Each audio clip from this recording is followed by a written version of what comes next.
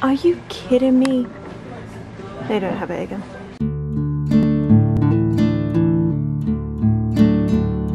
Hello my loves and thank you for joining. It's Kirsten and we are doing an impromptu come book shopping with me. We are going to Forbidden Planet today, me and my partner. It's going to be a good time and as much as Forbidden Planet mainly just has fantasy books and I have been fallen out of love. It is something that I haven't really looked around their fantasy book section in a while. I also would like to pick up some manga as well while we're there so let's just have a look and see what we can find. So come along with me. Oh as always, I keep forgetting lately. I hope you're doing well.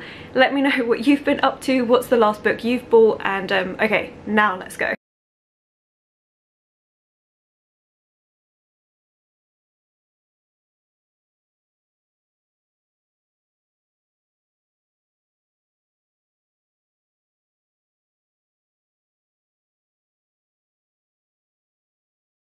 And we have arrived in Forbidden Planet and I'm in my favourite part to check out which is the new US releases because obviously being in England we don't get those that often but Forbidden Planet very much does. So let's go see what we can find.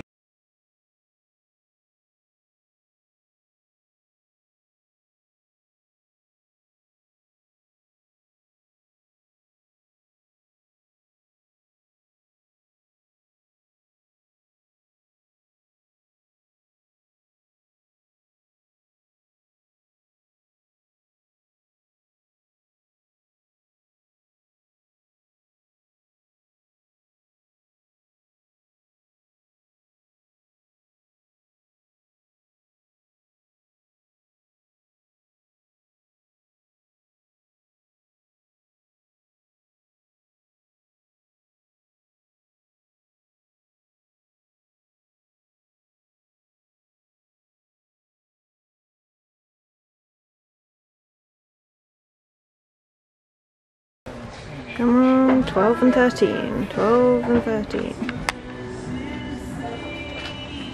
Are you kidding me? They don't have it again.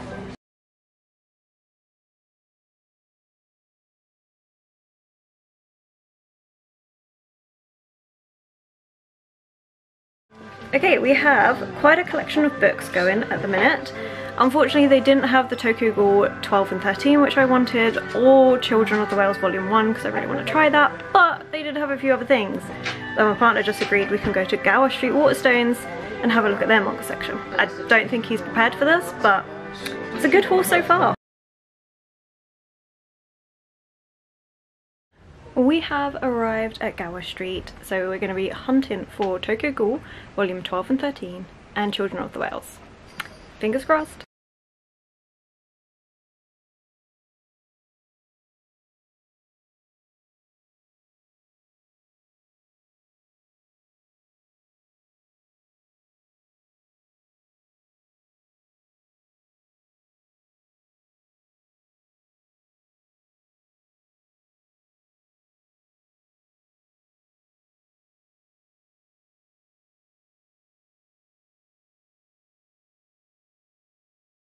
And we are back home. Honestly, it's such a good day. It was so hot out, but it was lovely and we did just enjoy it just going around to the couple of bookshops that I showed you as well as having lunch out and going to a few shops that my partner wanted to go to. It was just a really nice day and I did end up getting eight books. So as you saw we ended up at Gower Street Waterstones so I'll start off with those books just because they're on top of the stack. I got Boy Parts by Eliza Clark and this is one that I've recently seen Leah talk about, Leah from Leah Crompton, I'll have her channel linked below. She's a recent uh, booktuber that I found that I really like her videos and she was talking about this book and it intrigued me so when I saw it on one of the table spreads within Waterstones decided you know what let's try it, let's pick it up. So this one, I don't know too much about it, but it is about Irina, and Irina obsessively takes explicit photographs of the average looking men she persuades to model for her, scouted from the streets of Newcastle. Placed on sabbatical from her dead-end bar job, she is offered an exhibition at a fashionable London gallery, promising to revive her career in the art world and offering an escape from her rut of drugs, alcohol and extreme cinema. The news triggers a self-destructive tailspin centered around Irina's relationship with her obsessive best friend, and a shy young man from her local supermarket who has attracted her attention. It sounds really interesting. It sounds like the complete opposite of something I would normally go for, but that is what I'm trying to do. I'm trying to just expand my reading taste a little bit more. And it says how it's a pitch black comedy, both shocking and hilarious, fearlessly exploring the taboo regions of sexuality and gender roles. It sounds interesting. I'm excited for it. I don't know if it's the sort of thing I'm going to like, but considering I like normal people, I'm currently reading The Virgin Suicides and enjoying that, so why not give this one a try as well? And then the other book I picked up was Among which was Children of the Whales Volume 1. Look how gorgeous that is. It's absolutely stunning. It's something that I've had my eye on for a little while. This was one of the ones that I wanted to get today and obviously they didn't have it in Forbidden Planet so I'm really pleased that they did have it in the Gower Street Waterstones so yeah really excited really hoping I like it. I have no idea what this is about. I think it's more of a dystopian world. Yeah a floating island city of day and magic adrifts on the mud whale. We're just gonna try it. We're gonna try it. Uh, unfortunately, as you saw, they don't have 12 and 13 of Tokyo Ghoul, so my hunt for those two is still happening. And then Forbidden Planet. So I was really surprised, but I actually managed to pick up six books from Forbidden Planet and it came to £30 that's amazing like it was so so good i didn't expect to get this many books today but i actually haven't spent that much one of the books that i got was this one which is the secrets of Drearcliff Grange School by Kim Newman and it was only 99 pence. I've never heard of it but I was really intrigued by that cover and um, yeah just just decided to get it for 99 pence. So it says a week after her mother found her sleeping on the ceiling Amy Thompson is delivered to her new school Drearcliff Grange in Somerset. Although it looks like a regular boarding school, Amy learns that Drearcliff girls are special, the daughters of criminal masterminds, outlaw scientists, and master magicians.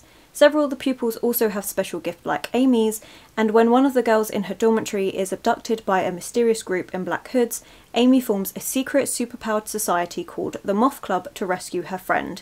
They soon discover that the hooded conspiracy runs through the school, and it's up to the Moth Club to get to the heart of it. I've never heard this at all.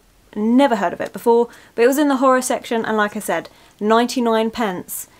You can't go wrong for that. And then as usual, they have their three for two on manga, so I picked up a couple of volumes. I got two and three of The Promised Neverland, which if you saw my 24 hour readathon vlog, I really enjoyed The Promised Neverland and wanted to carry on with that series. So super excited. It's actually a really long series. I was looking in Forbidden Planet. It's really long. I didn't realise, but hey, that's going to be good. And honestly I love their three for twos that they do. I think it's so helpful especially because manga can be so expensive but yeah really excited with that and then the third one I got for that deal is Moriarty the Patriot volume 2 I read volume 1 ages ago really liked it this is all about Moriarty so the criminal mastermind from Sherlock Holmes. But this is Moriarty's background story to how he became the criminal mastermind. I really liked the first book, so I'm hoping again I will like this one and continue on. I think they're up to like volume 7 or something. But yeah, I, I'm really happy. This is one that I've been meaning to pick up for a while. And then I have two more books. So we have If We Were Villains by M.L. Rio. This is a book on my books to read 30 before I turned 30 and this one was £3 off so I had to go for it because it meant it was only 5 99 Perfect. This one is Dark Academia and I believe it's like Shakespeare plays a massive part within this. I think it's following a group of students who are obsessed with Shakespeare. They put, I think they put on plays and stuff or whether they're just students I am not sure about that bit, but I know that they're obsessed with Shakespeare and that one of the students gets murdered and it's all about that. So it's kind of like Donna Tartt's Secret History, but with Shakespeare and stuff. So it sounds really good. Dark Academia, I have a love-hate relationship, so I'm hoping that I will enjoy this one, but I couldn't pass it up considering it is £3 off. And then the final book I got was one that I wasn't planning on getting today. Actually, the one fantasy book I wanted to get, which is Lud in the Mist, I couldn't find. In the end, I just gave up, but I did see this one, and this one I'm really intrigued with because recently Regan from Peruse Project, again, I'll have her channel linked below, recently read this one and really liked it. This is Mrs. Death, Mrs. Death by Salena Godden and we're following death and she is telling her story to this writer. Apparently it's a really unusually way it's been written. The way Regan talked about it, it just has me so intrigued for this book. Plus I do love this cover. It's just so beautiful. So as soon as I saw it in there I was like, yep, okay, you're coming home with me. I'm actually really pleased. I expected to get the manga but I didn't expect to get the other actual novels today. Like I said, fantasy books isn't something I'm massively into, but these ones I feel like are just going to be interesting and they're not purely fantasy, like there's something different about all of them. So yeah, well, I hope you enjoyed this little impromptu video and yeah, like I said at the start of this, do let me know what's a book that you've recently got or if you've read any of these, what your thoughts are on them, all the usual things. I think today we're going to put a shopping bag emoji because we did go book shopping. So if you made it this far, then the shopping bag emoji is the one to mm. use. And if you have enjoyed this video, don't forget to give it that thumbs up, subscribe, comment to let me know that you're here. Social media links will be linked below and I will of course Catch you in the next one.